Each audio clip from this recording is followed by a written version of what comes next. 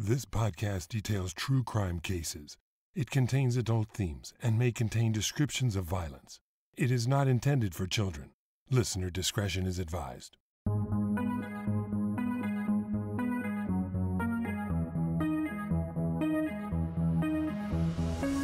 Thank you for joining me for today's episode of Once Upon a Crime. This month I'm detailing cases of deadly love triangles. I hope you enjoyed the first episode, The Case of the Killer Clown. I'll have another scripted episode for you on July 31st, but the case I'll be covering today has been one that I've been fascinated by for a long, long time.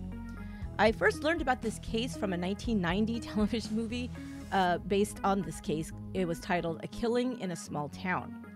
And I remember seeing that and thinking this is this is a wild story and I was so surprised when I found out it was true.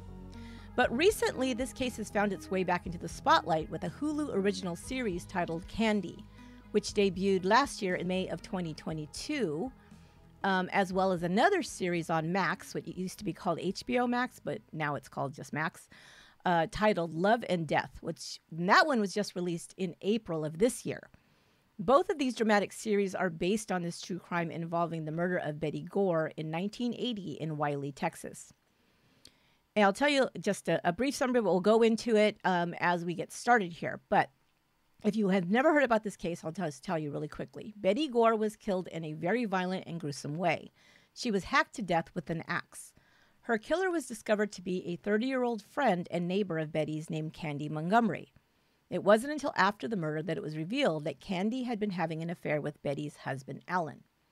As you can imagine, this love triangle involving two church going homemakers in rural Texas that culminated in an axe murder became a media sensation. I recently binge watched the series Candy, as well as read the book written by John Bloom about the Betty Gore murder titled Evidence of Love. And I had a lot I wanted to say about it because, like I said, I've heard about this case for so long, it's never kind of left my mind in a way. So I've decided to bring my co producer Lorena in today to help me out.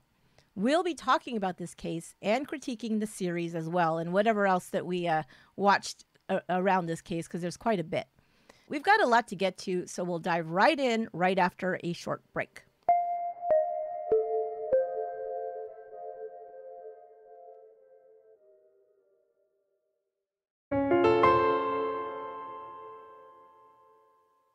Right, so let's get into this case. First of all, I want to say uh, welcome to Lorena for being here with to meet with me today in the studio and helping me with this this episode. Hey, Lorena, how are you doing?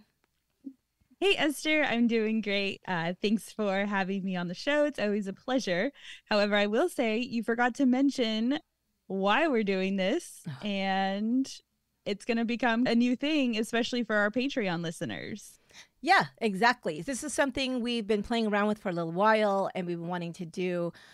So it's kind of like the concept of you guys know, like when you watch something, you know, a true crime thing, or you hear about a case or something in the news, you want to talk about it with your friends, right? Your true crime friends, the ones who like talking about these kind of things.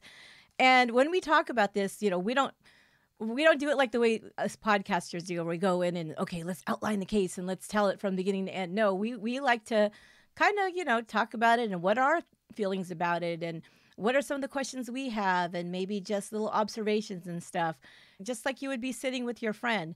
And of course, we kind of get a little bit maybe personal with it, like, I can't believe that she did this, or, you know, who, you know, I had a friend who did something like whatever, right? And so that's the part where you guys know this. It's like what we call chisme, right? Where we're going to kind of just start gossiping about the players in the thing or maybe other stories that we know that relate to this. So, talk a little bit about that, Lorena. Like, how do, how do you understand this concept of true crime chisme? Um, well, I think it just started from us anytime we would come up with or when we started thinking about series topics for Once Upon a Crime, and you know, we would completely go off of a topic that we weren't even doing, but it was like, did you hear about this case that just came up? And then we would just have to talk about it, and then it was like, what the heck was she thinking? And with him, and with who, and then the other. so when you think about chisme, it is like the gossip, the hot tea. Mm-hmm. Um, and yeah, like you're saying, it's not necessarily a serious conversation, but it's more of just shooting the shit with your friends about yeah. true crime. and, and, and I think it also, what we're going to be doing. for me too, it's a little bit about just our own personal feelings about it, where we kind of have mm-hmm. a little bit of a more personal opinion and may- maybe we want to like i don't know maybe criticize a little bit or that kind of thing so we allow ourselves Definitely. in these kinds of mm-hmm. discussions so that's what we're going to do here and then we are carrying this forward and we're going to continue the, these discussions on patreon um, where you guys are going to get a little bit more of us and, you know, kind of like how we would be discussing this if we were sitting around, you know, drinking some coffee and just, you know, having having a little chat. Definitely. But because this is Once Upon a Crime, we are also, of course, going to give you all the details. We've done research, we've watched everything. I've gone through this case 10 different ways over the years. So we're going to give you the, definitely the details. You won't feel like you're missing out on anything here. Okay, so let's go ahead and start with that. I want to give you guys a background again if you're not familiar with this case. And I will definitely give you some recommendations at the end of um, what to watch and listen to and read about this case if it intrigues you the way it did us. So, okay, so let's talk about the crime first. On June 13th, 1980, 30 year old Betty Gore, a middle school teacher and a mother of two, was found dead in her home in Wylie, Texas. Her murder would be one of the most brutal and gruesome anyone in this small town of 3,700 residents had ever heard of. Betty Gore was found hacked to death, and she was found on the floor of the utility room in her home. This was just adjacent to her garage. The murder weapon was found nearby, a three foot long axe. An autopsy would conclude that she'd been struck 41 times. Almost 30 of those times were in and around her head. So you can imagine this was a very gruesome scene. At the time of her murder, her husband Alan had been away on bi- a business trip, but when he couldn't reach her, he started calling neighbors to check on their home. After about 10 p.m. that Friday night, neighbors finally entered the house, and this is when they found Betty and they found the bloody scene. The Gore's infant daughter, Bethany, was found in her crib in another room of the house. She had cried herself hoarse there for hours and hours while her mother lay dead in the back of the house. The crime scene suggested that a great struggle had occurred in the home. Betty had multiple defense wounds, and there was also a bloody footprint found underneath her body. There was no sign of robbery, and because of the brutality of the attack, detectives quickly theorized that the killing was personal, committed by someone she knew, or some, and maybe possibly or probably someone who had uh, some sort of grudge against her. Okay. Hmm. So, anything else there about the crime that I didn't mention or that you wanted to mention, Lorena? Um, no, that was a great summary. Um, the only thing I will say, as far as um, yeah, the crime scene itself, what stood out to me about this case, it was like straight out of a horror film. There was two inches of blood found under underneath some parts of her body and around the crime scene. Just blood all over the place and not just in the utility room but also around the house like little droplets like this blood had gotten even out of the utility room mm-hmm. and whoever did this crime walked through the home and like blood was dripping off of this person's like fingertips because there was blood all throughout the home too where right. even though it took place in the utility room off of the side of the house near the garage, there was blood found in the kitchen, in the hallways, and then we'll later find out that there was also a ton of blood in the bathroom because whoever committed this crime took a shower mm-hmm. and tried to get rid of all of the blood that was all over the perpetrator's body. Had to be, and, right. You know, so when we think of a bloody crime scene, it wasn't just, you know, some blood splatter here on the walls. It was straight out of a horror film blood bath scene. I think that's one of the things that stuck with me about this. And I'm I'm thinking back to that 1990 movie. I saw this when it was on television years and years and years ago. And I never forgot that. I want to kind of describe for you guys this utility room. So basically, it was like a kitchen, and then there was like an open doorway, and then there's this utility room. That's where like the washing machine was, and I think there was like a an upright freezer. You know, some cabinets where they had some stuff, but it was small. It was a very small contained space. And then right past that, there was a door that went into the garage. So you guys can probably picture that that kind of a, a setup in the house. But this utility room where this, well, we could tell that this this struggle and this attack took place is very small. It's very confined, tight, very very, very tight. tight. And you imagine that somebody coming at you with an axe, and you're in this t- tiny confined space and you can't get away, right? Um mm-hmm. and they're just you know and I, like i said 41 times she was she was hit with this axe so i mean just horrific, right? That's definitely Totally. one of the things that stayed with me about this case. We're going to talk a little bit about who did this, what happened, what did, what did the police suspect, how did you know all this come about. So of course, the usual suspects. Number one, of course, would be her husband, right? The husband did it, kind of thing, right?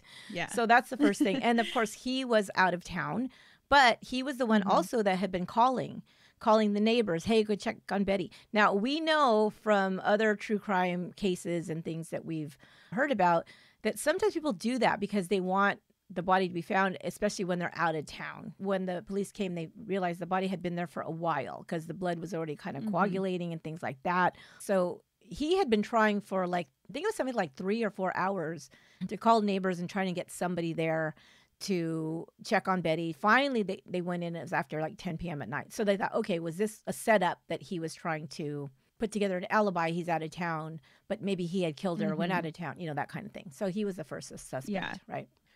while I was watching both the Candy and the Love and Death, and even you know the Snapped episode, as well as the I the People Investigate um, documentaries, in my head I was like, if I didn't know already about this case, I would already be thinking. Oh, obviously, we always think like, oh, the husband did it. But the way it was totally set up, like, oh, he just happens to be calling. Of course he did it. Yeah. You know, oh, he's the worried husband gone all day you know, if I didn't know any better, I'd be like, oh no, it was him, hundred percent. Yeah. There was only one glitch in that theory, though. Well, one, of course, he had the alibi, but like you said, they could work around that because of this fact. The one thing that I remember the investigators saying, the one thing they couldn't get past is would he leave his own infant child there without getting her help? Yeah. Mhm. Because what we'll find out is he was calling people, and we'll talk about the people he was calling. And one of them, at least, said, Do you want me to go check? Do you want me to go check? And he said, No, you know, that's okay. I'll just keep trying, or something like that. If he knew the infant was alone and, the, and her mother was dead, he would definitely have said, I believe, yes, go Yeah. check, you know, to, to make sure that the Mhm. baby's taken care of, right? Definitely. But here's the thing: when when Ellen came back, he's informed by the neighbors Betty's dead. It was Mhm. weird because the first thing that they said was she was shot, which is weird. So I actually did double uh check that. They did say she was shot, but they said it was a self-inflicted wound because so we know the neighbors got into the home Mhm. um after Alan asked them, you know, knock down the door if you have to, break a window if you need to. You just need to get into that home. Um so when they first found the baby, then they saw the blood splatter and made their way into the utility room. Don't remember if it was Lester or Richard who walked into the room first, but at first glance, all he saw was because her face was pretty much oh, half that's gone. Right, so he thought she she had shot head or herself. something. So he's yeah. So he said she blew her head off. So that's what they first told her. And so he was like, We didn't even own a gun. So I was confused about that at first because I was like, they told him that she was shot, but they told him it was self-inflicted. They said she shot her own head off. yeah, And then once investigators got got there and saw the blood scene, they're like, this was not a shooting. And that's when um, Alan, you know, returned home. And that's when they told him, I know this is what you think happened, but it's even worse. Like she didn't do this to herself. Um, it was a horrific murder. Yeah. And that's when he found out that it was with the axe and you, everything. you know what's else, funny about so. that? Like, now I'm thinking about it. The reason why I thought, why would they think she shot? Because and this is, and again, because covering true crime for so long, this is just something that is almost like a an innate knowledge of things that you you know. One thing I know about uh, people that uh, kill themselves, male versus female. If a female shoots herself, it's very, very rare for her to shoot herself in the head, where that's very common for a man. Woman, if she's going to shoot herself, will usually shoot herself in the chest. So I was picturing, mm. What do you mean? Like there's so much blood. If she if she just shot herself in the chest, like that, that doesn't make any sense. But now that you say that, that makes more sense to me. So Mhm. okay, I now I get it. Yeah. That because that was that was Yeah. What are they talking? What is these? These are Texas men. They should know what gunshots look like, right? You know. exactly. You know. yeah one thing that i thought was really funny that um the uh the defense um, attorney said he was like this is texas. People will forgive murder but they're not going to forgive adultery. When we... yeah. And i was like that's so true. that is so funny. So the thing though when ellen does come home like you were talking about this is one of the things the investigators kind of pointed to. They said he had a very cold demeanor like he wasn't reacting emotionally much at all. Um, mm-hmm. and so mm-hmm. they kind of had a problem with that and they're like well yeah, we got to look at this guy closer because something's going on here. He doesn't have the demeanor. You know, we always talk about that with true crime. Like when somebody calls 911, if do they sound panicked enough or not, you know, or or is this a mm-hmm. setup with somebody who's trying to themselves out to not be the perpetrator or something like that. So that was one mm-hmm. of the mm-hmm. reasons why they thought, okay, let's look look at him. I did have questions about that, but when I I don't know, just the research that I did do on Alan Gore, to me, he just seemed like the type of guy that was just like, okay, like this is what it is now, yeah. you know? And, um, you know, we can get a little bit into the background of Betty and his relationship. Um, but one thing that was going on with their marriage, like she was very, type A. Mm-hmm.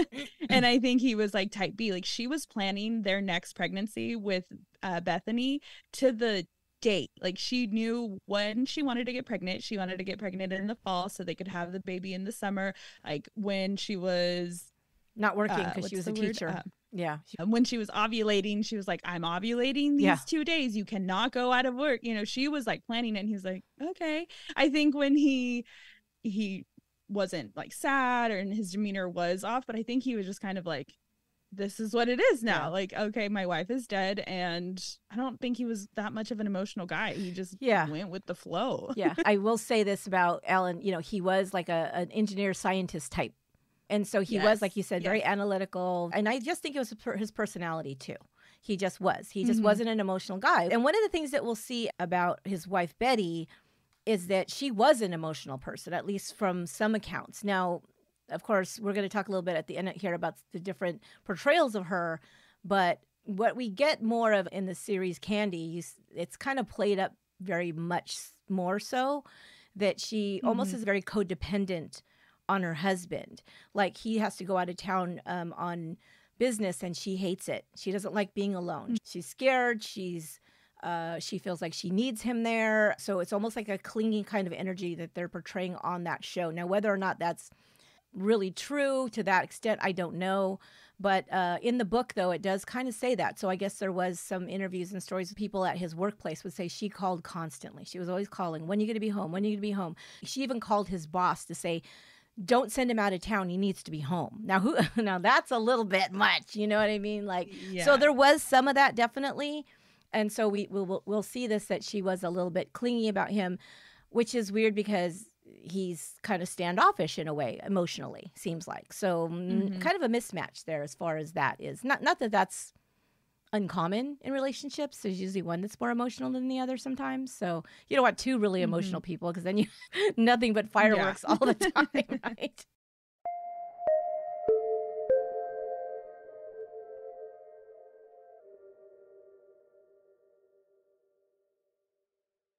Thank you for listening. One other way you can support the show is by becoming a Patreon member. For as little as $2 per month, you can get all new episodes of Once Upon a Crime ad free and hear them before anyone else. Patrons are OUAC superfans, and we show our appreciation for your support by giving you bonus episodes you can't hear anywhere else, as well as exclusive OUAC merchandise sent to you as a thank you. To find out more and join, go to patreon.com slash onceuponacrime. There's also a link on our website, truecrimepodcast.com. Thank you so much. The second suspect was Candy Montgomery. She was the last person to see Betty that day before she was found murdered. And if you want to talk mm-hmm. about her, I'll let you go ahead and give us a little bit of a, a sketch of, of who Candy Montgomery was. Yeah, so Candy Montgomery was born Candy Lynn Wheeler. Um, her real name's Candace, and obviously went by Candy. She was actually born into a military family, and she moved around a lot until she met her husband, Pat Montgomery. They met while Pat was working at a, I want to say it was the engineering uh, job that he had, and mm-hmm. she was a receptionist. And after just knowing each other for two months, the couple got engaged. Um, they had two children, uh, a daughter named Jenny and a younger son named Ian. So the couple moved to McKinney, Texas, which is near Wylie, Texas, mm-hmm. where the murder happened. And even though it is close by, it's not just like, oh, right down the road. It's a good 15, 18 miles away. So a good 30 minute drive. Obviously, back then, you know, the suburbs were probably less congested than they are now. It's a suburb of Dallas. But when you think about this case, you know, they say she was a neighbor. She wasn't a neighbor. They lived in separate uh, suburb towns. Right. So yeah, they they were not neighbors. They were close friends though. Mm-hmm. Let me just jump in there real quick, just so people can get a, get a sense of this. One of the reasons why I think this story became so clear in my mind was, like I said, I'd seen it earlier, but also my sister lives in this area now. You guys know my sister Yolanda.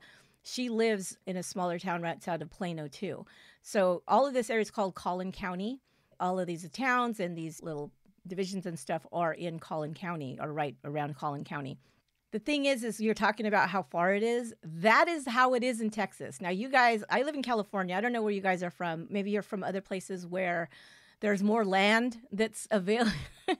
Texas is really big. I mean, not that California isn't, but California um, property is so expensive that we're all on top of each other because we can have small lots. I mean, you go to to Texas and you go to like the Walmart and the parking lot is the size of a city. You know what I mean? Because because oh there's gosh. so much land. Yeah. I'll be with my sister and she'll be like, I want to take you here to go have this pizza or whatever. Right? It's like, okay, cool. And I go, where is it? She's like, oh, it's just down the road. I swear to God, we will be driving for 20 minutes. I'm like, where is this place? She goes, oh, it's just down the road. They're so used to these longer distances because everything is bigger in Texas and everything's further away. So yeah, so that it, I kind of totally get what you're saying about people talk about oh they're neighbors. They it, in Texas that is your neighbor, but they live you know 15 20 25 miles away you know it's it's it's really it's Got very it. different. Yes yes. No it's very different. Yeah. gosh. So you said um, they were okay. they were friends in every everything i've read is they met in church pretty much. Lots of church going people lots of churches in texas. You go to any town in texas there's 20 different churches for 20 different denominations you know whatever and religions and everything else. So they met happened to meet at the methodist church in lucas which is another small town near there and that's where they all uh-huh. attended together the montgomerys and the gores so betty and ellen and pat and candy and their families all went to this mm-hmm. church so this is something that I had to like go back and double check. For the longest time, I thought the Gores were new to town, where really it was the Montgomerys that were new to town. Mm-hmm. They moved to uh, McKinney in 1977. Um, Pat got a new job. They got their dream house in the country. And even though Pat and Candy's relationship seemed to have like this per- picture perfect life, um, Candy considered her marriage really boring mm-hmm. and she wanted something more. So she was part of the church. She was friends with everybody. So I think she kind of like moved to this town and just befriended mm-hmm. everybody. Mm-hmm. Not that Betty wasn't a mm. part mm-hmm. of the church community, where Candy just like really stepped in and like became a name for herself in yeah. a short amount of time. So I had to go back and double check that because I was like, wait, Candy is the one who knows everybody right. and it like seems like it would be the, the other way church around. and everything. Right. Mm-hmm. Yes, definitely. But no, the Gores had already lived there. I think they moved there in like 1970. So they were there for, you know, seven years before the Montgomerys were. But yeah, Candy came in yeah. and then just within two years, everything happened. There's a so. couple of things, and you know, here's a little chisme here because this is just stuff, of course, we're thinking about. But what you have to remember too is you're right. I didn't think about that, but you're right. But Candy was much more bubbly and social and talkative and, and active and all that kind of stuff where Betty seemed to be a little bit more reserved, a little bit more like a stay at home mom, like she kind of kept closer to home. But the thing you have to remember is Betty had a job. Betty was a middle That's school right, teacher. Yeah. She had a job. Candy didn't mm-hmm. have an, a job outside of her home. That was one of the things that was she was bored about. Is she said, "Well, our husbands go to work, and you know we don't really have anything to do." So she was writing. She was writing poetry and stories and stuff like that. But she didn't really have an mm-hmm. outlet. She didn't have anything. She had her kids, she was, you know, she was the soccer mom. She was all of that stuff. And the other thing you have to remember is that Candy eh, um, and Pat had more money, way more money than than mm-hmm. Betty and mm-hmm. Alan did. They had this big old house yeah. out in the country. I think Alan was still kind of working his way up in his his career, where uh, Pat was already kind of up in the upper levels of his career, making a good salary. And so she had all the things. She had the pool. She had all this kind of stuff, right? So it's it's a little bit Mm-hmm. She had different. the best party house. Yeah, she had the best party house. Of course, we saw that in the, in the series Candy. You guys have to watch that. So, so yeah, so that there was a lot of differences between these two women. I mean, what really stood out to me is just how young these women were. Mhm. You know, Candy was only 29 years old when everything started. Right. And she already had two kids. Uh, I want to say Jenny was seven and Ian was Yeah. five. Mhm. Gosh, so young. And to Yeah. have like, I, I mean, her husband, Pat, he was making like $70,000 a year. So back in 1977. Mm-hmm. To today's dollars, that's like two hundred and twenty thousand Yeah, dollars, and was- you know they were off. making a great salary. Mhm. And I'm just like, man, I mean, could you imagine? Yeah, no, like, no. And in that Texas, so that's- young. And in Texas, that's a lot, a lot. A, I mean, So you're basically a millionaire at at that point, you know. exactly. so yeah so that so th- there's definitely you know all of these things about these two women They're very interesting and and again one of the reasons this this crime is so sensational is because it ends up turning out it's two housewives you know that this this happened to mm-hmm. and also the whole church going thing. oh yeah We should know by now. It's always the church people. yeah BTK, But Den- Dennis Rader. Oh, like, God, yeah, Dennis was Rader. a huge in the church community. Yeah. Uh, John Wayne Gacy, like he wanted to be a priest. Like it's always the church people. Why can we please stop being shocked when it ends up being this oh church going folk? i know right I'm. I, it's no longer shocking to me. I know it's just per- it's perceptions. So okay, so the reason why Candy is a suspect at the beginning, they, they don't know anything else. They just know that she's somebody who you know knows the family. But they know that Candy had gone to the Gore's house that Friday morning, so she was the last person to see her. Like I said. Um, so the kids were at they were having a, a vacation Bible school, which you guys in the, you know the Bible Belt know what this is. It's during the summer. They have a program during the day for kids to go it's like a little summer camp just in the morning usually and it's based around like bible stories and stuff like that but they have activities they have fun outings and stuff like that so it's to keep the kids busy during the summer basically. Well candy was um, involved in that. She was helping out like you said she was involved in everything. She was with the kids at the church at the vacation bible school. Now betty and ellen's daughter alyssa the five-year-old right she was five i believe alyssa was friends with um, candy montgomery's daughter and had spent the night with the Montgomerys the night before, then went to vacation Bible school with them. Candy's her friend. She's there with the baby. Her husband's going to be gone. It's kind of just to help her out or whatever. And the kids wanted to play together. Anyway, Candy's at the church with the kids. Alyssa wanted to stay another night because it was Friday night and they were going to go to the movies. And Alyssa wanted to go. And so she asked Betty, is it okay if she spends another night? And Betty said, Well, I guess that'd be okay, except for this afternoon she has a swim lesson. So Candy, she she's, Oh, I'll come get her bathing suit, you know, and, and I'll take care of it, right? And I'll take her to a swim lesson. So that's why she went. She left the kids at the Bible school in the morning. Then she went to the Gore's house, probably somewhere around 10 o'clock in the morning. So that's she went to go pick up the bathing suit. So they knew this. And she told the investigators this, that this, you know, this is what happened.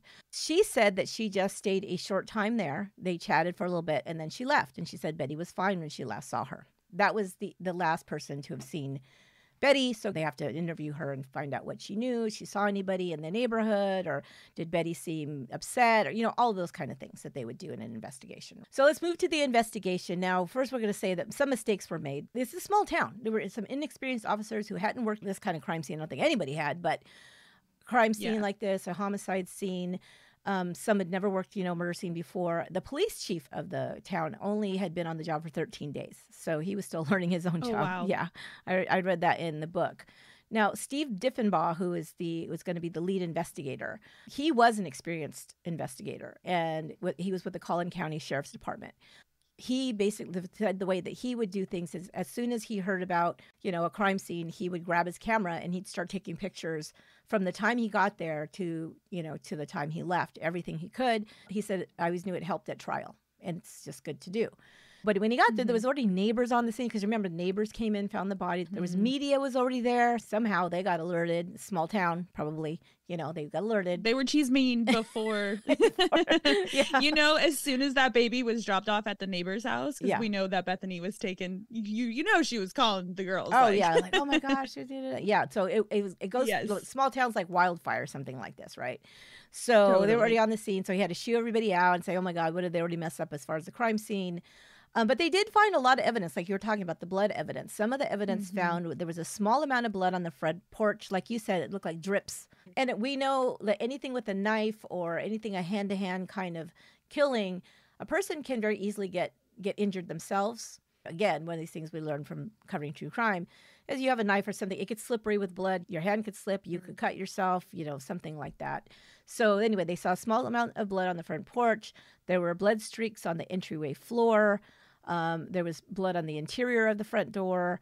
Um, and then, like you talked about, the blood evidence in the bathroom indicated that the killer may have gone in there, tried to clean up in the sink, and then gone in the shower and showered before leaving because, of course, they would have had a lot of blood on them, right?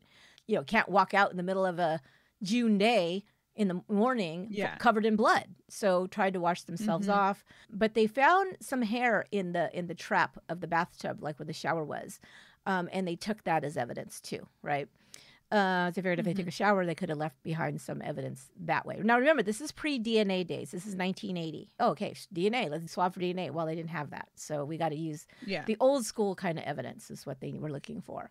And then they went to the doorway that led from the living room to the utility room at the back of the house. And like you said, blood covered the walls in the utility room. It was all over the freezer. There was on the door leading to the garage. Like maybe Betty tried to go out through the garage and didn't quite make it. Um, there was a small footprint in blood. And that was right away a, a big clue to this investigator because he said, for an axe murder, you would right away just suspect it's going to be a man. It's got to be somebody strong, a big big man. And then they saw this small footprint in blood, and it looked like it was um, in a, a sandal. It's like a flip flop type sandal, like print, but it was a Yeah. small one. So they're like, okay, it's either a female or it's a, a younger person, like a younger boy, maybe a teenager, something like that. The- um, Yeah, they were able to identify that because of the three dots. So when you, it was like a thong sandal. Some people refer to those types of sandals like thongs Mm. Yeah. because it has like the three dots Oh, right. underneath it, and that's how they were able to identify that it was that type of chancla. Yeah, chancla. Yeah, That exactly. Different words we use for that. I know. Yeah, flip flop was at Hawaii, and then thong. I don't know where that comes from. Yeah, and then you have like sandal because sandal's more of like a slide through. right. Yeah. Flop. I think it's because it makes that noise. It flip flop when you walk, right? I guess it's kind of that kind of thing.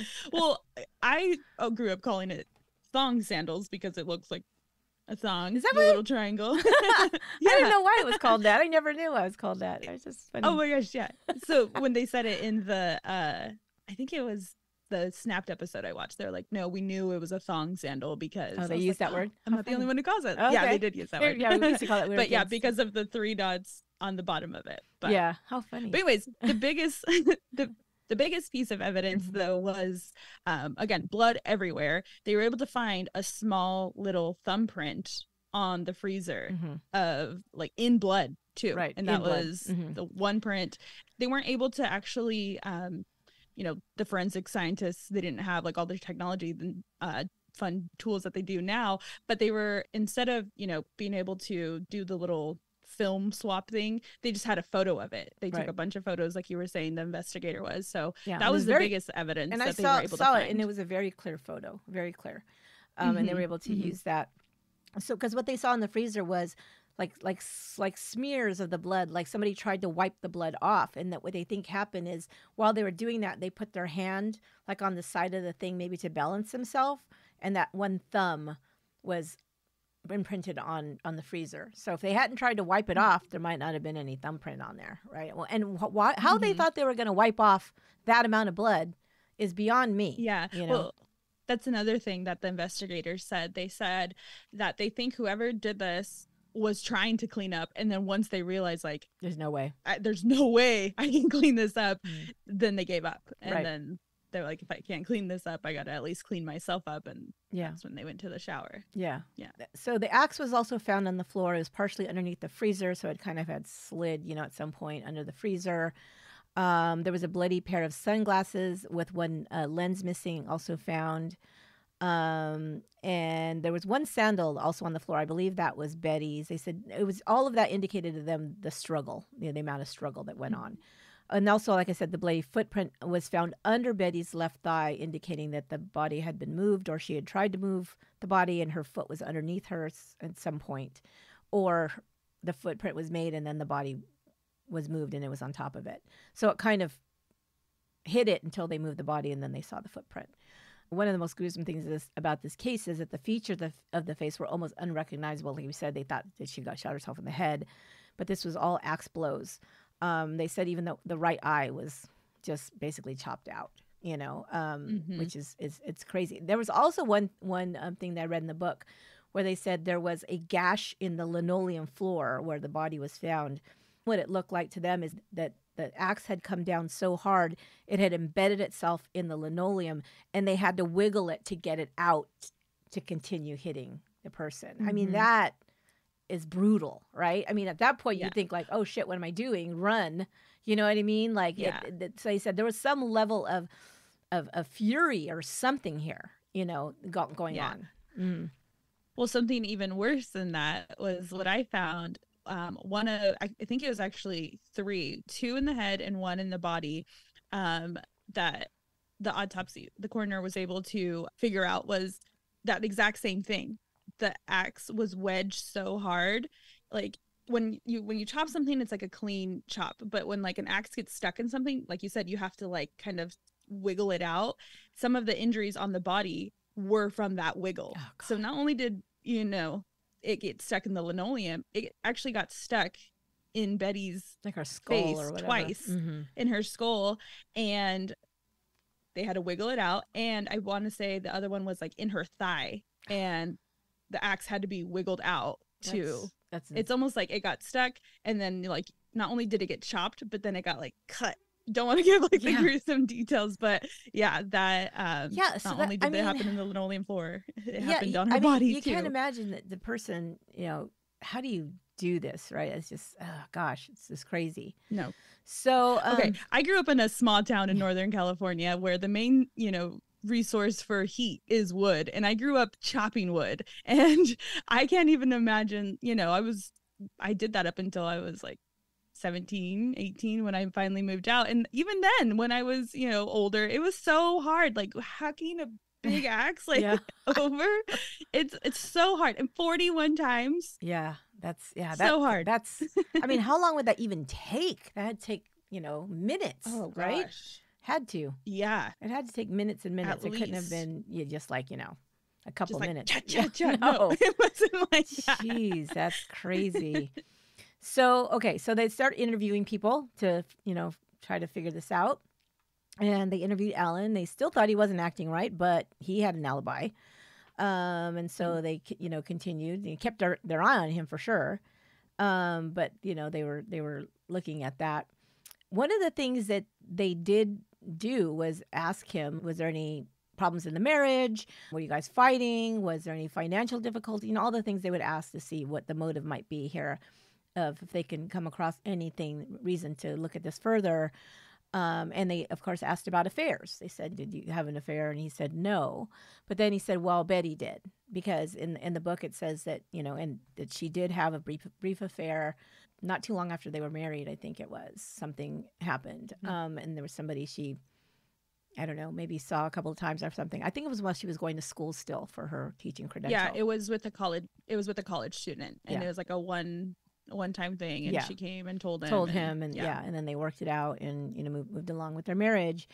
Um, but he said that about her. He said no, he didn't have any, and he didn't have any affairs. So that was the end of that questioning.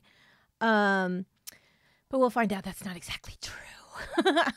That's when we get to the real chisme. Um, So, okay, then they interviewed Candy, and she gave a detailed timeline of the day of the murder. She knew exactly what she was doing, what time she left the church, where she went, that she went here, and you'll see that that's in, in the in the series Candy, that she tells this story to everybody exactly the same way, Mhm. almost like it's rehearsed, right? Of what she did, and she left, and and then she had to stop, and she was going to go get a Father's Day card, but at Target, but then was there even Targets then?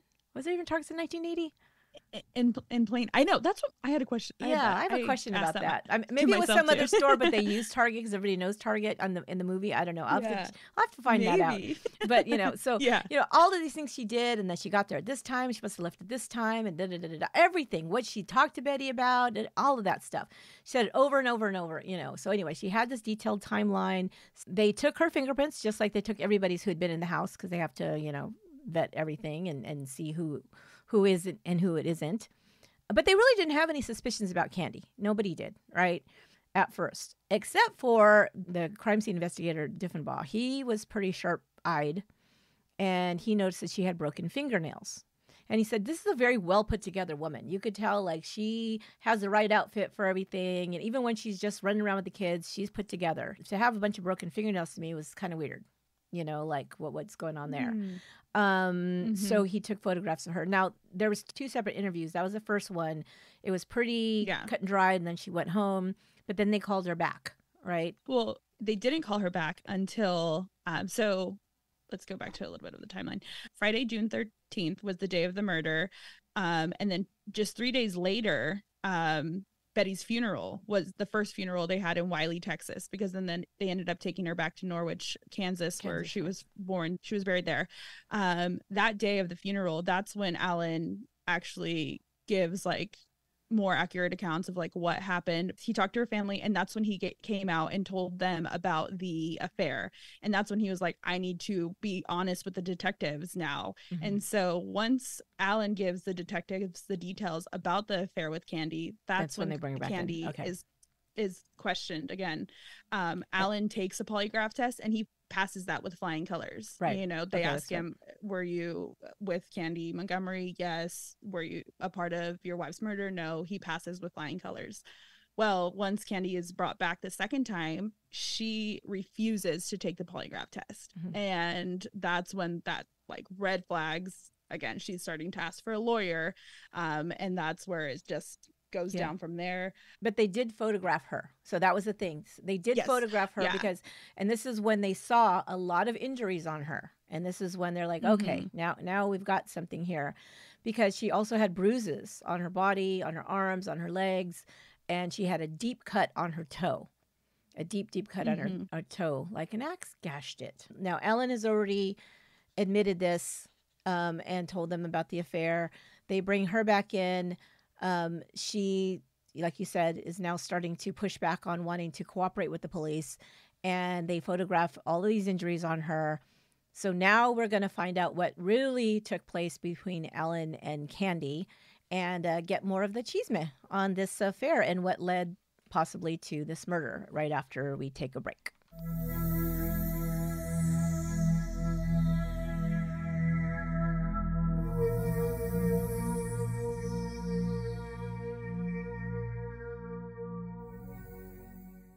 Did you know that Once Upon a Crime can also be found on YouTube? You can subscribe to our YouTube channel to listen to our episodes and watch accompanying videos.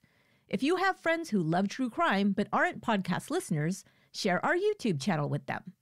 Just look for Once Upon a Crime podcast on YouTube. Make sure to put in Once Upon a Crime podcast. Make sure to hit the subscribe button and like and comment on the videos. And of course, share them with others. It would really help us out. Thank you so much. Okay, now we're going to get into the detail of Alan and uh, Candy's relationship. In 1978, Betty Gore is now pregnant with their daughter Bethany, the one that was the, the baby in the crib at the crime scene. Now, she's home more and she's not out as much because she's pregnant. She's not feeling as well. Alan is spending a lot of time at church. He's got all these activities. Plus, he plays volleyball. I don't know, was it a church league or was it a community league? I don't know. They didn't really say. Maybe that's. I thought a lot of people from the church were there or something. Yeah. So it was uh volleyball, but they were also very active. All four of them were in the church choir. the choir well. And it wasn't until Betty was um that she got pregnant she stepped back from the choir. So Pat, uh Alan and Candy were all participants of the choir. Uh Alan and Candy were on the volleyball team together. right. So that's where it started. You know, they were already kind of close. And then one night, this was actually true. Uh, during a volleyball game, Alan accidentally like came at Candy from behind and then they just like happened to fall on top of each other. Mm-hmm. And from that moment, she was like, I have to have him. so okay, weird. So the, what you guys what you guys need to know though, okay, it's a little bit of cheese, you know, of course, but I did. I mean, looking at the pictures of all of these people, I mean, Betty Gore, she was cute. She was she was a cute girl. Yeah. I thought Betty Gore was was a cute girl, you know, woman, uh, you know, an attractive woman. You know, Candy Montgomery she was attractive. And she Yeah. was, I would have to say, she was more kind of vibrant. Like she just had like an athletic figure. She was very uh, bubbly, you know. So I can see people thought, oh, she's she's good looking. But even in the even in the series, they don't make her out to be this beauty. She's got these big old glasses Yeah. and this curly fro hair that is like, oh man, that Yeah. just is so dorky looking. You know what I mean? for again they were so young but in even in the photos like when i look at the photos of all of them um, pat was only 32 years old go pat like making a killing in his career Yeah. i mean i'm gonna be 32 next year or this next this month oh my gosh in less than like 20 days and you know pat making $220000 money go pat um, but gosh he just looks so old to me Yeah. like he looked they like do. a 50 year old man Yes. candy looked like she they both did candy and betty looked like older women I- older. to me i don't yeah, I think it was the clothing, the clothing and the hairstyles, and they wore these big style, big exactly. glasses, you know, whatever. But then you look at the men, and they're nothing to look at. I'm sorry, they're just I know. you know, not. they, they look middle aged, like, you know, already, even though they're not that old.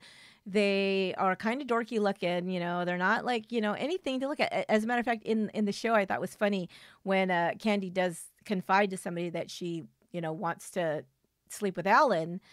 Um, she's like, Alan Gore? She's like, isn't that kind of a lateral move? like your Yeah, husband is yeah. just as, you know, he's kind of like the same as your husband. He's not like any better. He's not some, you know, hot dude or whatever. But yeah, I don't think it was Mhm. about that. Um, like we talked about, Candy was just bored in her marriage. She was bored.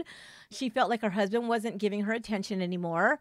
You know, it's like she knew she would get attention from other men because she of her personality and this and that. And you know, like I said, she had this athletic figure and she was, you know, thin and all this stuff. And and her husband is just kind of taking her for granted. You know, he's working, he's whatever, and you know, it's his wife. They've been married for a while. It's no big deal at this point, right? They, um, and so she's wanting somebody ha- to pay Well, attention I to her. also have yeah, I also have a thought though that just like I wanted to talk about. So this was, you know, end of the sev- late 70s beginning into the 80s like i feel like that's where like a shift happened in you know the whole stay at home mom thing. It was still you know really prominent but it wasn't like the 50s 60s Right. you know it was the end of the 70s into the 80s women started to really work. Mhm. and I feel again, Candy was only 29 years old when the affair started.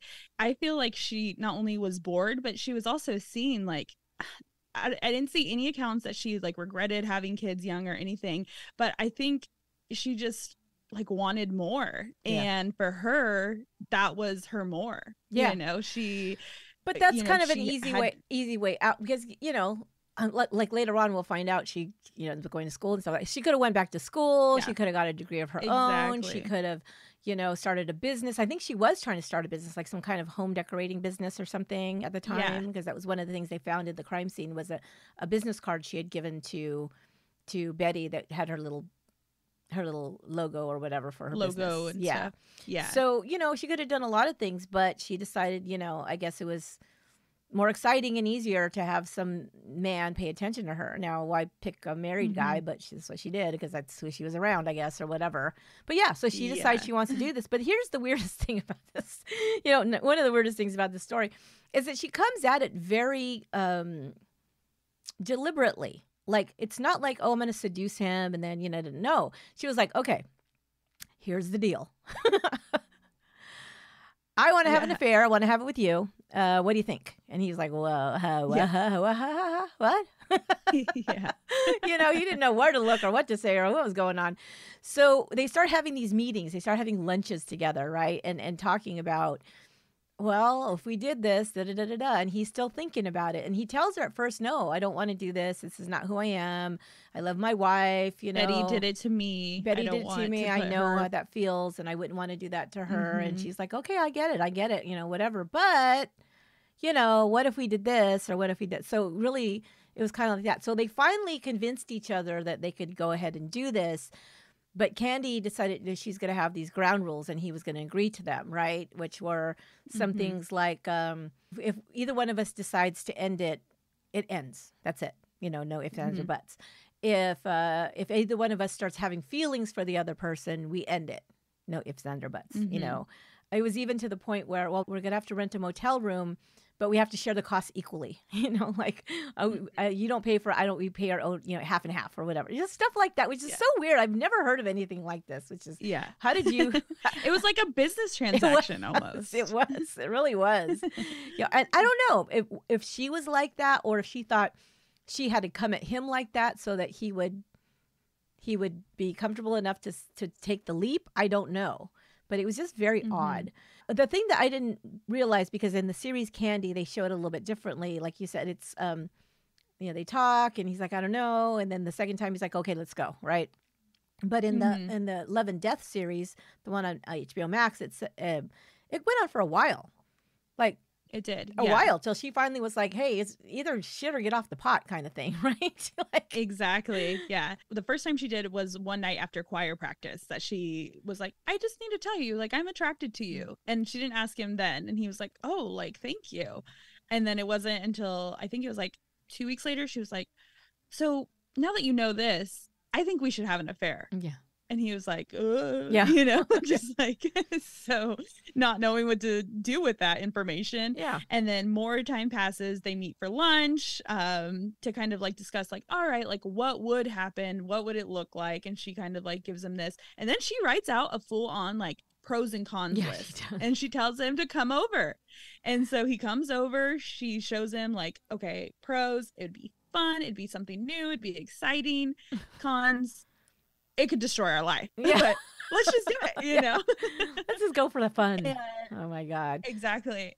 He still didn't commit to it that day. It wasn't until her birthday, it was her 29th birthday, that he actually called her and was like, okay, let's do it. Mhm. And she was just like overjoyed with this Yeah. information because she was she was getting frustrated. Like you said, it was like either shit or get off the pot, dude. Like, let's go. yeah, yeah. um, they even set a date for them to start the affair Uh-huh. um, which was December 12th, 1978. So only a year after. So again, the Montgomerys moved to Wylie in, or excuse me, McKinney in So- 1977. And then a year later, she's already looking for Yeah. an affair. hmm Yeah, she was.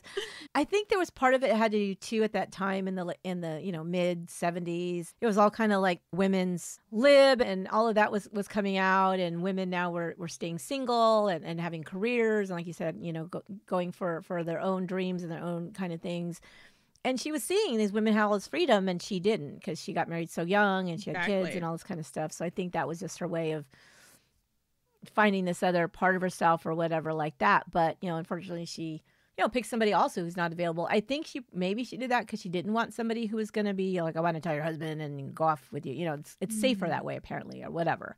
But the problem though is. Like we know, love and sex are very much intertwined a lot of times, even though people try to pretend like they're not. They are because you start to get emotionally attached to a person as well as physically attached. They start talking to each other a lot, having conversations um, you pointed out is that sometimes they didn't have sex; they just they just talked. You Chatted. know, they just Yeah. chatted about their lives. So not too long later, it was only a couple months later. Candy says, "You know, I have feelings for you," and uh, so she Mhm. said, "It's it's getting too deep, and I think we need to end this."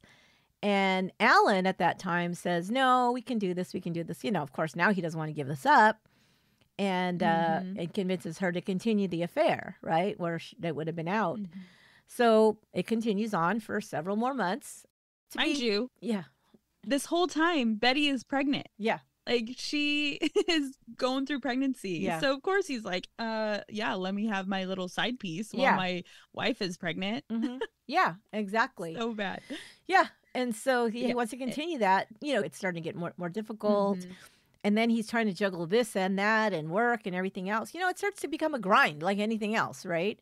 So maybe it's just not as exciting anymore. It's not as new, whatever, right? So he says it's it's getting to be too much. We're about to have the baby, whatever's going on, and then so they agree to kind of have a halt to this this affair.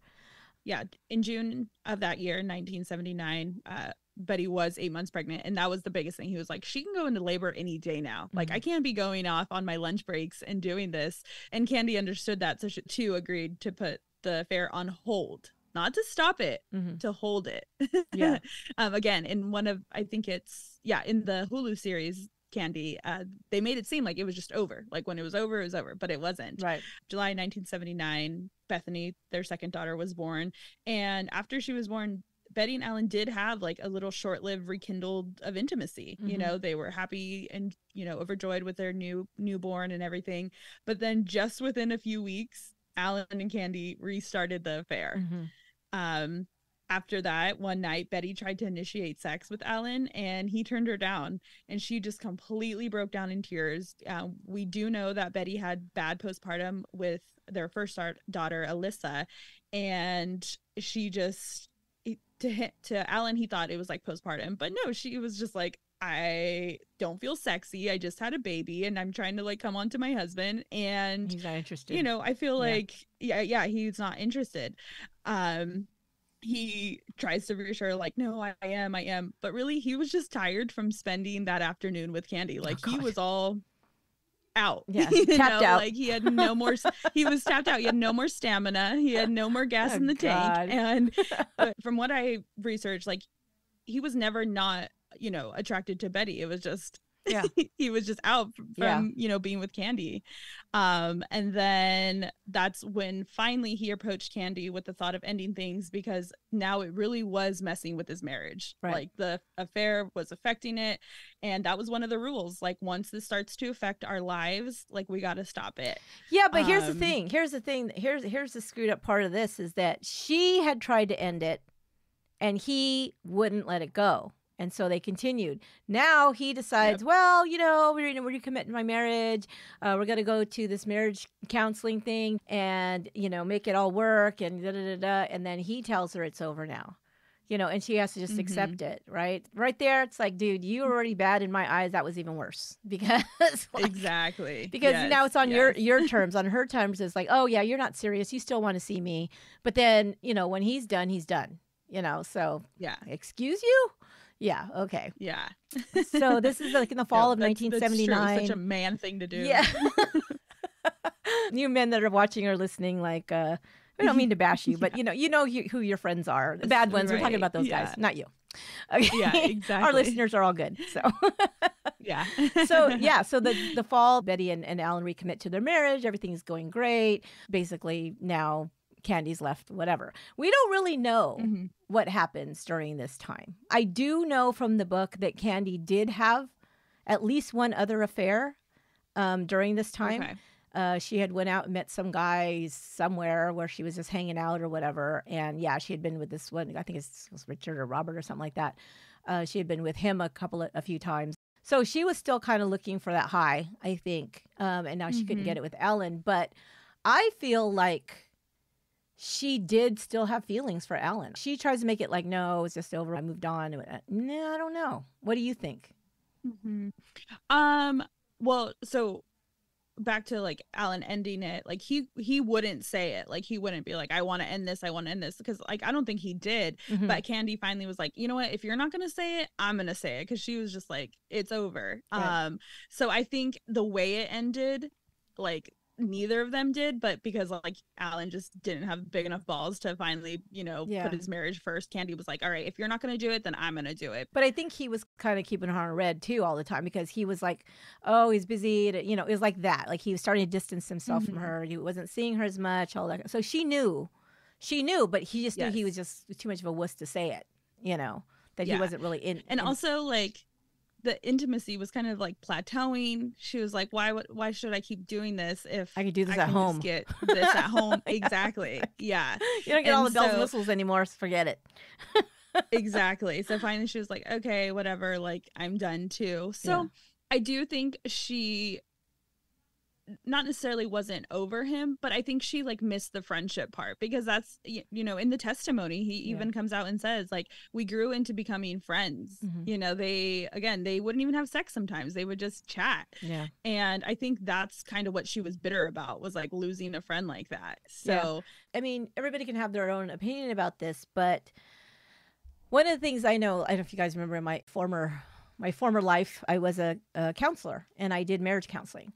And one of the things that I think sometimes people didn't understand, the women seem to understand this, where the men, you had to kind of explain it to them, is when you are emotionally involved with another person outside of your relationship, whether there's sex involved or not, but you get really involved with this person. When you spend time with somebody and you become, like you said, like friends, that's an emotional affair is stronger than a physical Oh, affair much stronger than physical affair. So when you have both going on I at the same time, that's a tough one, especially for women because we tend to emotionally attach even more than physically attach, where men sometimes it's the mm-hmm. opposite. I mean, it's different for everybody. Some men are more emotionally attached. You know, it just depends on your personality and you know how you're wired, but but yeah, an emotional affair is much stronger a lot of times.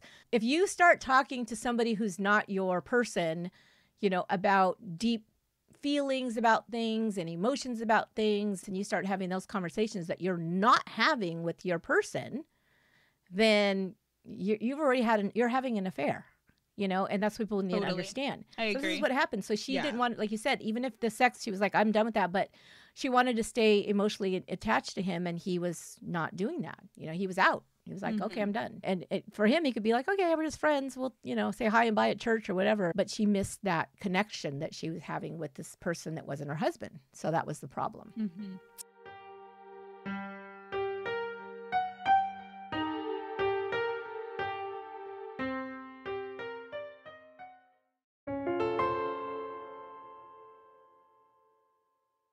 Okay, so then they decided they had enough to arrest Candy Montgomery based on the evidence found at the crime scene, the fact that Candy was the last one to see Betty alive, and the discovery of the affair that she'd been having with Betty's husband. So that all goes to motive, means, and opportunity, which is, of course, what you look like when you're building your case, right? Candy was Mhm. arrested on June 27th, okay, of that year. So it was only a week after? A week. Yeah, a weekish Yeah. after? Uh, two weeks. yeah, one to two weeks after. Uh, what, yeah. They were Ten days. to build this together. Yeah. She was Yeah. released from jail on a hundred thousand dollars bond. Like I said, they had some money, so she was able to do that. Yeah. Well, actually, that was funded by the church. Oh my the god! church really? came together and did that. Oh yeah, the um I wish I had his name. The pastor of the church like came out and was like, "We stand with Candy." Nobody Yeah. believed that she could do this. Yeah. So they, they, she was, she had a lot of support from the community, from her church, and from people in the community, and even her husband. She even had the support from her husband. oh yeah. Y- you know, because she And at this- Pat found out about the affair. Pat found out about Before? the affair, and he before the um trial started, before everything started, and he blamed himself. He was like, I have been neglecting my wife and he actually wanted to work it out. So I don't know. That's kind of like this this middle ground from um when they ended the affair to when the murder happened. I guess that's kind of why I wasn't convinced that, you know, she wasn't over him because I think that is kind of when uh Pat found out. And so maybe they were kind of working on their marriage. Yeah.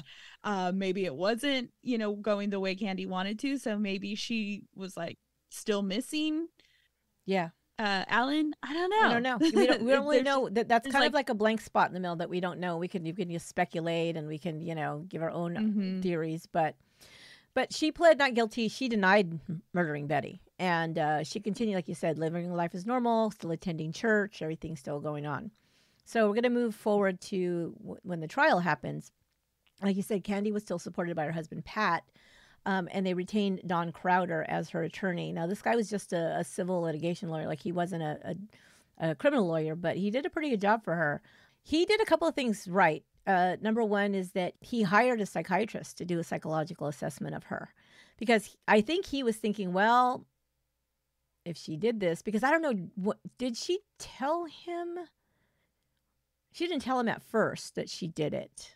At first she didn't. So the the reason why the community was behind her because she only was um, pleading not guilty at the time. It wasn't until the trial started the trial and started. they had to um, finally come out and claim self defense. I think they were trying to decide, okay, what are we going to do? Are we going to do a, a not guilty by reason of insanity defense because you know this is kind of- kind of a crazy thing to Mhm. do, or something else, right?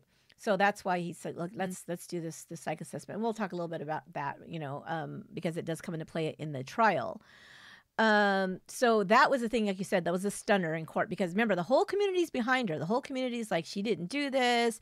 You know, they're looking at Alan like, oh, he's the bad guy. So they get to the day of the trial, and you know, her defense attorney stands up and starts giving his opening statement and says she killed Betty Gore. And they were like, what the hell? This now is where the, the community gets totally divided because this was crazy.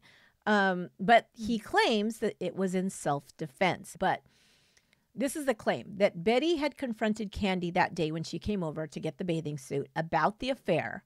Mm-hmm. Betty had threatened her with the axe because Betty was enraged about it, right? And that Candy had grabbed the axe to defend herself and accidentally hit Betty.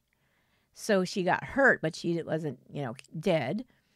Um, but then mm-hmm. as she tried to leave, Betty got up and started trying to hit her with the axe again. And this is when the struggle happened. And mm-hmm. the part that where the psychiatrist comes in is that uh, what the attorney will say when the psychiatrist will testify to is that at this point Candy like snapped. That's why that, that show snapped, right? She snapped and went into what they called a dissociative reaction at that moment and killed Betty. So here's the thing that's the crux of their case because what they're going to say is she did not intentionally kill Betty. It was not in, no intent, so you can't prove first degree murder. She didn't go over there to kill her. One of the big things they had going on their side is is the axe belonged to them. It was there at their house, right? So it's like she didn't mm-hmm. bring a weapon with her, that kind of thing. So that was, I think, one of the things the jury could kind of get their minds around was like, yeah, well, maybe she did threaten her because why, you know, she hit her with an axe. She didn't have a gun. She didn't have a knife. You're going to hear about this and all of the things that happened in this trial is the knowingly and intentionally killing did not happen. Mm-hmm. So the psychiatrist testified that Candy did not, quote, knowingly and intentionally kill Betty, but was reacting out of what he called uncontrollable influences. And we'll talk about that in a minute. But then also they had the polygraph examiner, who, again, hired by the defense, because remember, mm-hmm. she wouldn't give it to the prosecutors, right? She wouldn't do it for mm-hmm. the cops. But her attorney hired a private polygrapher to to put her on you know this test and said that she passed um, and was found to be truthful when they asked her if she intended to kill Betty Gore. And she said mm-hmm. no, and that came out as truthful. So, mm-hmm. but that's splitting hairs, I think, because yeah. maybe you didn't intend to kill her when you went over there, but once you were there and you guys had words and you got pissed off, and then obviously you didn't just intend to hurt her because you freaking hit her 41 times with an axe. That's not exactly. intentional. This is where the people, the community had like a real problem with this case because of that. Exactly. Yeah. And that's where, yeah, you don't hack somebody 41 times, 28 times in the head as self-defense. Yeah. Okay. Eh, it, you know, I I really thought about this one because, you know, when somebody gets shot in self-defense, usually it's like oh like i shot him you know like i shot him once i was like self-defending myself. It's not like bam bam bam bam yeah, bam yeah. you know? It's not like uh, you know you clear a whole round shooting somebody. Right. she cleared a whole round with this axe. Like right. she just kept going. So yeah that's something i really thought about too when thinking about that. Like yeah you don't do that in self-defense. I saw i saw something i was reading about this case or another one because I'm doing you know this whole this whole thing about the uh the love triangles love right triangles and they're like well you know um you don't kill somebody for a mistake and then somebody said, uh, "A mistake? Did you fall into her crotch over and over accidentally?" just so, tripped and so oops, oopsie. You know, like that. It's an oopsie. Just like this axe murder is not an oopsie. It would be an oopsie if you yeah. like went to defend yourself and you hit her, and oh my god, I you know almost fatally wounded her or did fatally wound her, that's one thing. Then you call 911 and you say, oh my God, you know, this woman came at me and mm-hmm. I defended myself and I think she's dead or I think she's dying, you know, but you keep on hitting her and hitting her and hitting her. And this is what I don't know how they were able to to pull this off in court. Because what they said was she didn't intentionally do it. She was defending herself, but once that happened and she hit her or started hitting her, then she was triggered. And then it's like something from her past came up that made her kind of snap. So almost like she was not even in her, like, it's almost like you're not there. You're in another you're in Mhm. another state like mentally. So you're not Another conscious. yeah, like you're not knowing that you're doing it kind of thing, right? So Mhm. but it's like it's like six of one half dozen of the other. They're doing both. They're saying it's self defense, but Mhm. they're saying it was like almost like insanity, but they're not calling It- that. So it's just Yeah. all over the place. Well, like it, I mean, it's a great story to tell, but how does it play out legally in a legal courtroom? Is what I wonder. You know, how does that work? Yeah. And the biggest thing was also like, okay, if this was self defense, why did she leave the baby there? Why didn't she call right away? She went back and did normal life things. She went back to the Bible summer camp. She went Taking care of her Star daughter. That night to yeah taking care of betty's own daughter she if it was self-defense she would have you know any normal sane person would have been And like here's i something- need to call that- the police right now But here's the thing who does Alan call besides the neighbors? He calls Candy. Well, when he's trying to Mhm. get a hold of his wife, who's now laying dead in the in the you know in the utility room, and he can't get a hold of her, he's calling Candy to say, "Hey, you know, have you talked to Betty? Um, I haven't, can't get a hold of her now. Now she knows what happened. She's the one that did it." And she says, "Oh no, I Mhm. mean I saw her this morning." And then she gives him the whole story of what she did that morning. I saw her this morning, and da da Mhm. da, and she was fine. And okay, well, you know, I'm just really worried. Candy says, and and he calls her not just once, but a couple of times at least. Candy Mhm. says, "Oh, do you want me to go check on her? Do you? I'll I'll go check on her." And he goes, "No, no, no, that's fine." That was your opening right there to say, Mhm. I'll go check on her because I know the baby's there and I can't leave the baby there. You know what I mean? And so, you know, I mean, you hear about these things. And when I just covered, they made an, an, an anonymous phone call after killing the person because they wanted the person to Mm. find the body. Not because there's a baby in the house, just because they wanted the person to find the body because they're like, oh shit, you know, like they need the body needs to be found before somebody, you know, their husband or somebody stumbles on it, I guess, or whatever, at least have some shred of remorse. But knowing Mhm. there's a baby there left alone in a crib, when you say, "Well, let, let me go check on her," when he said, "No, no, no," you could have went and did it, and then said, "I w- I came and checked it," you know, and the baby's crying, and oh my God, something happened. You know, she could have done that Mhm. without needing his permission to do it. You know, this is just worse upon worse uh, her behavior. yeah But yeah, but this is what they said. They said that she basically snapped, and I think that's what they were trying to say too, is that she was still in this dissociative state when she was cleaning up, when she was going back. She couldn't believe she did it, so it was like an unreal in her mind, and blah blah blah blah blah, and all this kind of stuff. So they keep that going to try, try to make their case on this, right? That's the way they play it in, in court. She did it, but it was self defense with this weird ass Yeah. explanation of why it was self defense or, or what why the 41. They had to find some reason to explain that. And so Mhm. that's what they did. And again, they blame it on Betty. They say, uh, and this whole scene that Betty's coming at her with an axe, they struggle over it. Betty gets hurt with the axe, and then Candy gets starts to get away, and then Betty stops her and tries to still get her with the axe. Makes no sense to me. Once you've already Yeah, been hit with an axe, I don't think you're going to keep going. you know what I mean? yeah I think you're going to be like, oh shit, this woman's crazy. If that did happen at all, which I have a hard time believing that she picked up an axe, if it did happen at all, it may have just been to scare her. I think. yes yeah i do believe like maybe there was an axe nearby Mhm. betty Mhm. and was just like yo did you have an affair with my man Yeah. like you know like You know, mess with the bull, you get the horns. Yeah, kind of thing, right? You're in Texas, right? and that yeah true she didn't have a gun so like She that was the only way to intimidate her Yeah. and then what candy says is she admitted to it but then she says like oh betty attacked her but i think like maybe candy was like a bully about it and was like yeah i did what are you gonna do about it Yeah, yeah, yeah. you know who knows who Yeah. knows So, I mean, Um, so but- something happened in that moment for her to be angry, or maybe she was already angry. Maybe she was angry because, you know, Alan wasn't paying attention to her anymore. And Betty was like, You ain't getting my man, you know, or whatever. And then that it was Mhm, off to the mhm. races at that point. She's like, This bitch is trying to say that I couldn't get her man. I already got her man. You know what I mean? Like Yeah, this is this is what this yeah. is this is what you can kind of see maybe happening. And so she got pissed because she's like, I'm better than her. You know, it's a whole thing, that whole romantic rivalry thing, right? That we've been talking about all month and it's like oh now i'm gonna now i'm gonna get you and maybe she did snap in that moment but it wasn't self-defense how is that Yeah. self-defense that's crazy nobody believed that she was going to get away with this crime because it's just too crazy to believe that she could get away with hitting somebody 41 times with the axe and get away with self defense and leaving the infant alone for 13 hours. My God, can you imagine? Poor thing. That baby was know. dehydrated.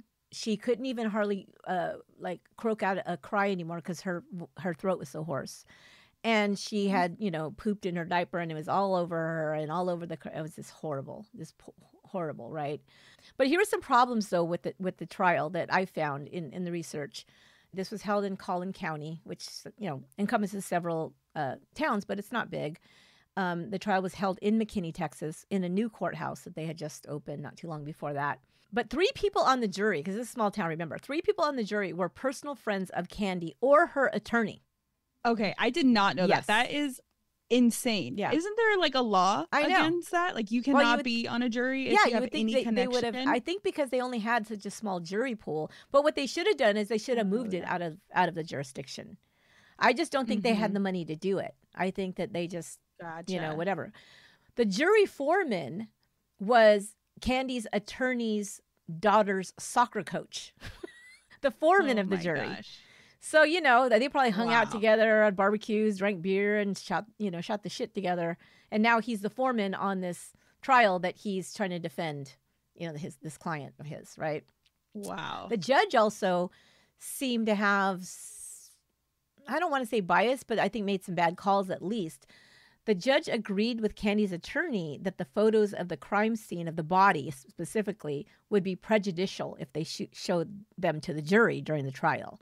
So Oh, he only allowed one photo of the body to be entered into evidence and, and viewed by the jury. So they didn't get to Oh, see did how bad this was. You know, although some people probably had heard about it, but they didn't get to actually see it because the judge didn't allow it, which shouldn't have been. Because I mean, it was it was a brutal murder, and Mm-hmm. the jury should have known what they were trying this woman for. You know, and they didn't get to Mhm. do that. So the outcome.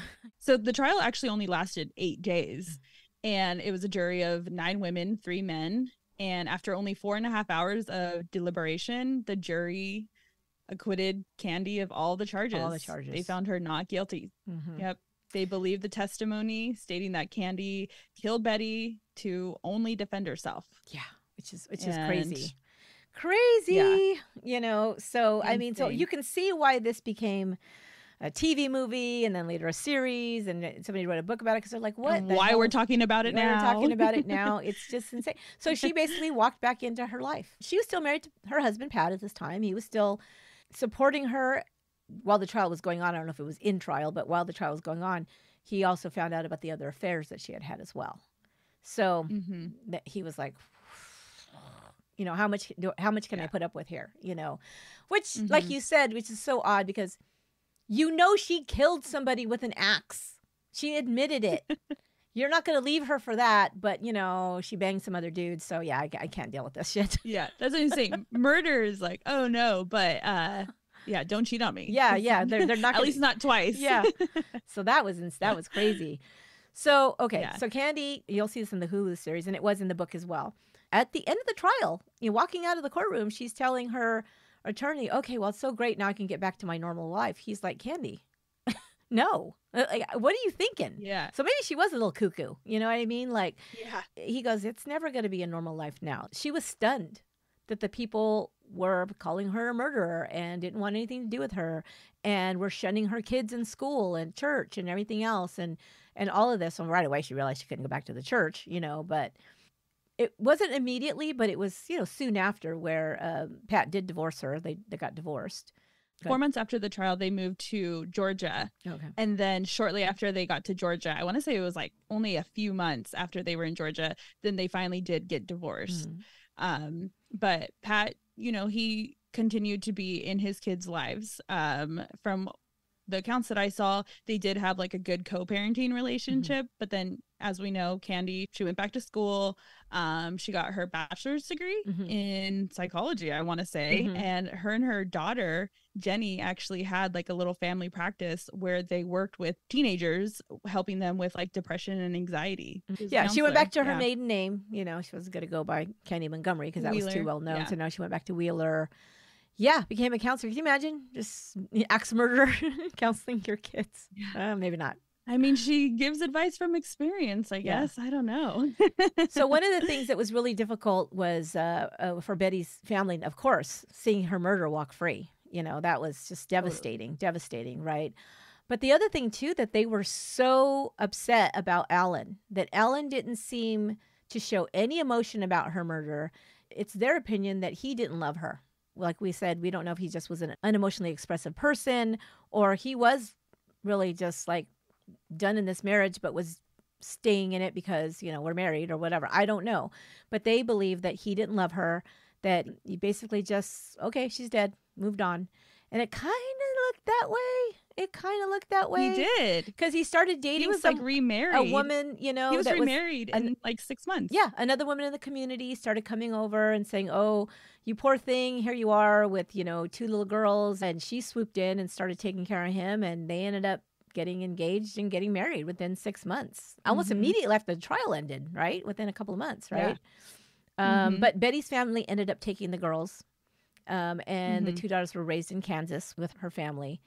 And they say the the girls now are, you know, both went to college, professionals, doing really well, have their families of their own, they're happy Mhm. um you know still hard for them to figure out like how why did this happen to my mom you know like that that's difficult for them but they've had the support of their mom's family all this time this has really been um, kind of like a stabilizing factor for them i mean you can imagine the baby Mhm. probably doesn't remember her mom at all which is really sad yeah. you know no. probably not at all yeah they said alan didn't even grieve betty he just moved on and it kind of does seem that way in a way um, they say Mhm. that Candy Montgomery got away with murder, and uh, that that's why they still give these interviews. Like we saw the People Investigates, the Snapped, and stuff. Were they on the Snapped one? I didn't watch that one. Um, yes, her family was on the snapped one. And yeah, like you said, this is why they continue to uh, give these interviews. They want people to know like Candy got away with murder. Right. Like even though she was acquitted, she got away with murder. Right. Like, it's just, it's just odd to me that, I mean, as a jury, I can understand where they're thinking, okay, maybe it was self defense. I think because of what we saw on some of the shows that we saw, especially like on the the Candy, the miniseries, was that Betty was probably portrayed, and I, I believe in the book they give more than details about the trial, that Betty was really portrayed as kind of like a pain in the ass. Like she was uh, annoying, she was mean, she was cold. You get two different stories. You get people say she was a great teacher, Mhm. all their students loved her. Then you get when, oh, she was so mean, she was so strict. They have this whole story about how they took in um, foster kids into their home.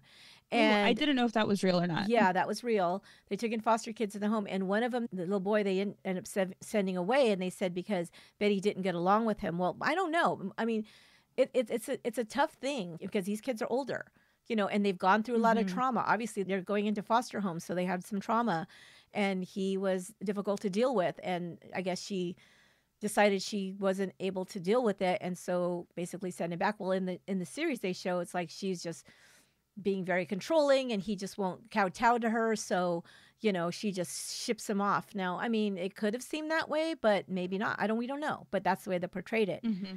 so Mm-hmm. but if they did portray it that Does way it- at trial you could see the jury was saying well yeah i can see maybe she did go after her with an axe you know what i mean she seems like this Mhm. really horrid it woman It doesn't matter, Right. You know, if she was a terrible person or not. She was still a mother. She was still a wife. She was still a church-going woman, a Mhm. godly woman. Yeah, it doesn't exactly. give her. It doesn't mean she deserved. I want to just talk about, you know, just the things we watched. Which one did you like the most, or which one would you recommend people to watch? So we had the series Candy, which came out, like I said, last year, Uh-huh. and it can be streamed on Hulu still. This is the one that Mhm. uh, Jessica Biel plays Candy Montgomery, and you do not recognize her really, unless you look. You don't recognize her. Yeah. Uh, Melanie Lynskey is Betty Gore, and the only one I, I I know Melanie Lynskey has been on a lot of things. The one thing that I remember her from was Two and a Half Men. She was Charlie's neighbor. Oh Remember? yeah. She was kind of the yeah, quirky. was- Yeah, she's cute. She's she's cute. They have her gain weight for this one, kind of you know because she had the baby and stuff, and they make her look a little bigger, a little bit. And then uh, you know Alan Gore. Uh, oh, and this was fun. Justin Timberlake plays the investigator Steve Deffibaugh, but he's not credited Yeah. in this at all.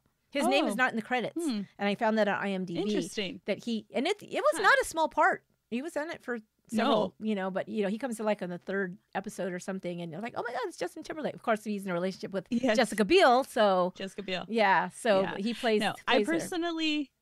I personally liked the um, I liked the candy one. Mm-hmm. I really did, but I really enjoyed the Love and Death one. I just Hulu, started on that Max, one. Or yeah, uh, on Max. Uh, I just started that Max. last night. I watched the first one. So this one, um, this one just came out in April of this year, Yeah. and Elizabeth Olsen plays Candy, uh, which she's much more attractive Candy than the other Candy, right? And then yeah, much more But no- attractive looking in this one. And then Jesse Plemons plays Alan, which I like Jesse Plemons, but man, he looks like a schlub in this one, doesn't he? He's yeah, I he think he's kind of cute in some other, you know, shows I've seen him in, other things I've seen him in. You know, he's kind of, I mean, he's kind of like the guy next door kind of character, right? But Yeah. he's just bigger. He looks bigger. He looks more kind of, I don't know, plain, whatever. Um, he Yeah. played, he plays Alan in this one. But I, yeah, I just so I just started watching that. So what did you like about this one? Um, I think they followed the actual accounts of what happened more accurately. And also in the Hulu one, I don't know if it's just because they didn't have like the rights or whatever, and maybe Max has more money, but um, I feel like they just dramatized a li- stuff a little bit more. Mm. Um, whereas the Max one was more like they had the actual story and the rights to tell the story the right way Possible. um and as well as how we're talking about Betty and how she was I feel like in the Hulu one they almost made her seem like really timid, really codependent yeah. whereas in the Max one I mean, she yeah, she was mean, yeah, she was could was could be kind of cold and stuff, but like I feel like she was you know, a boss ass bitch. Like she spoke her mind. Yeah, people didn't want to hear it sometimes, but like she was very vocal about her own opinions, how we're being right now. and it's like, gosh, um, I know she was a teacher, but it's like I feel like she could have went off and like became like an attorney or something because she was very like again, type A, like get shit done. Mhm. Uh this is how things are gonna be. And you know, I don't know, like I really liked her in that one more than I liked her in the Hulu one. But Yeah. who knows how she actually was. Yeah. yeah. um as well as in the max one they really got into like the trial where in the hulu one i feel like they kind of just like skimmed through it and then it was like oh she was you know acquitted whereas in the max one they uh showed a lot of like the testimony and Yeah. stuff but both really really good series i recommend both of them um i just watched the snapped episode last night i loved snap that's like what i grew up on Yeah. so that snapped has a little special place in my heart yeah, and we'll we'll put But, we'll put uh, links to these so you guys will know what what seasons and and what episodes if you want to watch them as well. The other one too was the documentary the People Magazine investigates. It's called Candy and Betty, Mhm. And uh, that's also you can watch on Max and other streaming services wherever People Magazine investigates. You can watch that on several streaming services, I believe. yeah But one thing I was going to say about both of the uh, Love and Death on Max and um, Candy on Hulu is that both of them, I believe, are based on the book that came out in, um, Oh. gosh, when did that, when did that book come out? Uh, Evidence of Love: A True Story of Passion and Death in the Suburbs, and that's by John Bloom and Jim Atkinson. I said published in 2016, but that doesn't seem right. I think it was much earlier than that. Maybe that was the reprint. Um, but anyway, that came out, and both of those were based on it. As a matter of fact, the Hulu one, uh, Candy, eh, almost verbatim, even in- the order that it goes with the Oh, book. really? Yeah. mhm, Okay. Yeah. And then um, the television movie, if you can find it, A Killing in a Small Town, was in 1990. Barbara Hershey plays Candy. If you guys know these older actors, Barbara Hershey, she's a great actress. She played Candy. Uh, Lee Garlington was another well-known actress back then. Uh, plays what they call Peggy. They changed the names on this one. I guess I don't think they had the permission to use the real names on some of them. Uh, Peggy was the Betty character, and Brian Dennehy, which is another really good actor from the past, um, plays Ed, which is Alan, um, and Hal Holbrook, which he was, uh, you know, one of these top-notch act. I mean, they had a lot of good people in this in this TV movie. Hal Holbrook plays a psychiatrist in uh, at the trial or whatever. So those are really good. Gotcha. Um, was there anything else that I watched? I think that was about it. But yeah, there's a lot of there's a lot of stuff you can find, and we'll put the links to the ones we talked about in the show notes. Um, and yeah, was there anything else about this case that I think we did a pretty good job of yeah, I think we covered all the and uh, gi- yeah, giving the facts and dishing about it. I think you you guys might want to take a look too about the the psychiatrist testimony. It's it's pretty interesting. I didn't want to get into that because it kind of goes down a little bit of a rabbit hole about Candy's past, which I think it's better off if you read about it or you uh you know watch it on, on one of these series because it, it kind of does a little bit of a flashback and you get a better sense of that than we could probably do here. Um, and whether you believe that or not, whether you believe that what she Mhm. supposedly told the psychiatrist, um, I don't know if whether under hypnosis or not, uh, was was true, or did she use that as an excuse to kind of say why the overkill for the you know the, Mm. the axe killing and stuff? So I mean, you could it could go either way. So I don't really know that I could debate that one because it's hard to know. You know, I know my own No, personal I opinion. agree. I don't know. Like I, I don't know. I think she's a little bit of an opportunist. She may have a little bit of a mental thing going on there, but I don't think it's to the extent they try to portray it in trial. I don't. So because she seemed to do pretty well. She became a psychologist, counselor, whatever. Exactly. You know, so crazy. so I hope you guys enjoyed this. Uh, True Crime and Chisme. We're gonna be doing more of these on Patreon. We have done one or two already on on Mhm. Patreon. One. We've so done far. one before. Yeah, so we're definitely going to be doing these. If you guys like that, uh, make sure to join our Patreon if you're not already a patron. It's uh, patreon.com slash once upon a crime, and there'll be a link in the show notes. And we'd love to have you there because we're doing some more stuff. I'm going to try to do more videos, um, do more of these kind of bonus episodes. We're doing a bonus episode every month on the topic um, that we are covering for that month, which this month was the um, the Love Triangles Love series. Triangles. And uh, yeah, so we're looking forward to the rest of the summer. We got some cool stuff coming out for you guys in August and then moving into the fall. And if you ever have any ideas about topics for us to cover or cases that you want to see us cover, or you want anything that you think we should be watching so we can uh, we can you know talk shit about Discuss it. Yeah. you know or just get our take on it uh, yeah let us know because there's so much out there and i'm always having to kind of wade through i mean i know a lot of things that i want to watch and and watching but i want to know what you guys are watching too so give us your opinions Yes.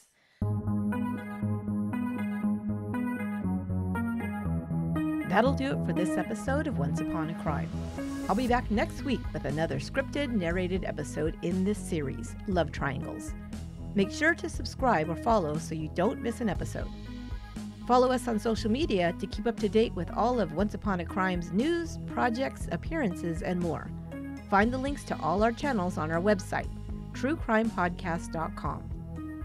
If you want more episodes of True Crime and Chisme, ad-free versions of every episode, and other special perks, join us on Patreon.